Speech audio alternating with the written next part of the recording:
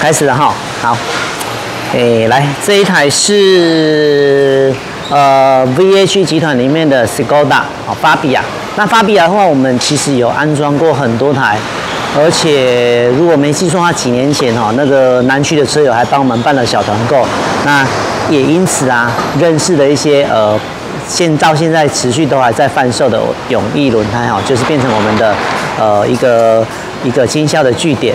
那今天的这一部车啊，车友要安装的版本比较特别，是竞技版的。其他之前的话，安装大部分的都是，诶，道路版本，因为毕竟是小车了哈。但是车友的话，稍比较稍微热血一点点，啊，所以今天选择的啊是呃竞技的版本。那这一台小车，它是欧系小车哦，可是它的主名、它的底盘设定，我自己的哈，我自己觉得。就跟一般的日系小车一样，很舒适哈。那如果要做比较激烈操控的时候，可能不太够。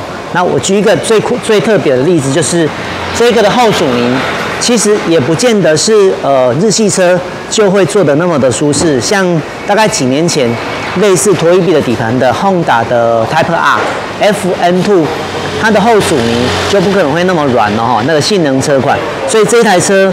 它是小车，又是拖一臂，可是它不是挂在性能车，所以它的阻尼啊就会做的比较舒适一点点。哦，像这个阻尼，跟一般的日系车超像的哦，很软很舒适，可是要操控的话，可能比较没有那么办法兼顾到了哈。所以今天要安装的版本，进气版的话，前方的弹簧会变六公斤，后方的弹簧一样是维持三公斤，可是阻尼值的话有特别加重一些。好。那这个是后面的筒身，这里本来还有一个上座，在上座的部分呢是需要沿用原厂上座，沿用原厂上座哈。然后这里是后方的弹簧，这个是后方的上部的橡皮。那下方的话，这一台小车啊，它并没有橡皮，它有一个类似呃铁铁环、铁片之类的做做固定而已哈。所以上方的这个橡皮啊。是不需要沿用的，这个不需要沿用。上方的话变成是 KT 有一个可以调整的一个开漏器的机构哈，可以坐在上面。那这个是前面的避震器，来，那我们再来试一下它的前面的阻尼啊，一样是做的很舒适哦哈。这个是前面的呃，就是麦花臣的悬吊了哈，这一样做的很软。好，光这样就可以下压了，所以它的阻尼是做的很舒适的。那它上部啊的上座为什么不见了？因为上部的话，它本来啊这款小车跟呃 Polo 啦，或者是 Lupo 哈，或者是日系车的 Fit 啦，还有之前前几天有直播的 Kick，你上的 Kick 都是一样，它的上座啊都是一个橡皮，然后加一个只推轴承而已，并没有上座的设计。所以这个本来是上方原厂有一个弹簧的下托盖哈，这个下托盖的话是不需要沿用原厂。我们的话有附一个转接座，转接座之后再来和它那一个指推轴承。好，这个是前面的原厂的避震器，这个不用用。那这台车的调整阻尼呢，不是在行李箱里面哦，调整阻尼是在后面的上座下方。在这个地方，这个是后面的上座，在上座下方有一个调整机构，从这个地方来调整软硬度啊。这个是呃我们所附的呃专用的防尘套，它的密合度啊很好，这样就可以盖住了。这个是后面的呃调整机构哈，Hello Key 在这个坐在这个地方，后面的弹簧是做三公斤的，只有三公斤而已。这台车是一点升一呃一千 CC 的。单缸涡轮哈，跟之前介绍的一点二升的是不太一样。那因为这一款车是最新款的，是2020年哈，好像上个月才交车，所以全部都好像是新车一样哈。也不是好像了，就根本就是新车。然后前面的话，它底盘并没有改款呢。这个离载串要沿用哦哈。离载哎不对，离载串的话，KT 有附一个比较短的离载串。那这个弹簧。竞技版的一般道路版本是配五公斤，竞技版的话是配六公斤的规格。好，那这里有一些油管固定架 ABS 感应线，这些扣具啊都是跟原厂一样的。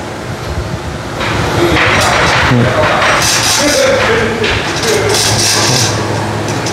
这个底盘都跟前一代，呃，就跟一点二都是都是一样的。嗯，那上座的话是在这个地方，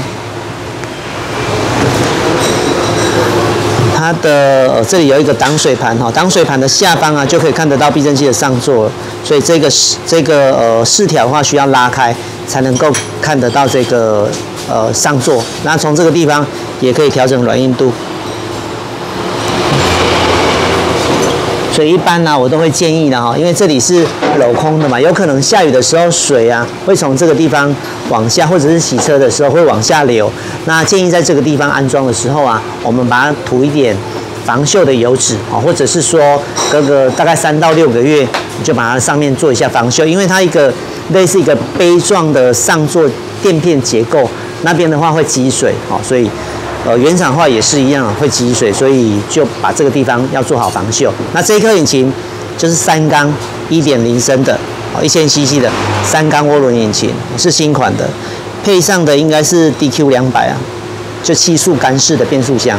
车头的也有一些小改款，变成是 LED 的大灯，哦，不太一样。那这台车的车主啊，花了大概七万块左右，哦，做了贴膜，所以这个是有贴还蛮高档的透明膜。透明膜的话是有一个一个保护效果啦，它能够防止车漆呃变黄，然后如果有轻微刮伤的话，也还有办法做一个修复功能。但透明的话，其实如果没有仔细看也看不太出来啊。但最主要的功能啊，不是跟一般有色的贴膜是不同，它是为了要保护它原厂的车漆啊。连大灯都有贴哈，从这个这个用拍摄的可能看不太出来。可是连大灯都有贴，还有装了前下巴。那这一段影片，因为经理还有把它录影起来哈，有可能会在 YouTube 上面看到。那如果啦是在 YouTube 上面看到的话，可能就呃没有看过经理之前介绍过的其他影片，所以我一样会在这个地方来介绍一下 KT 的用料哈，像是 KT 所使用的阻尼油，我们使用的是意大利啊进口 IP 的阻尼油，那。在有关到避震器的寿命部分，最重要的零件之一就是油封。油封的话，使用的是日本最大的厂牌 NOK 的油封，所以 KT 的用料都相当的不错。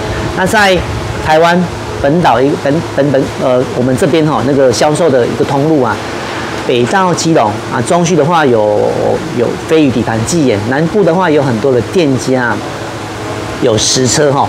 可以提供给车友们来试乘，来比较看看。